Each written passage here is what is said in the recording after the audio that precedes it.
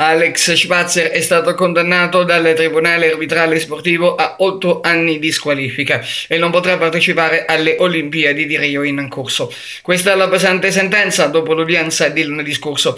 L'ex marciatore altoatesino era stato trovato positivo ad un controllo antidoping a gennaio, ma la notizia era stata diffusa un mese prima delle Olimpiadi.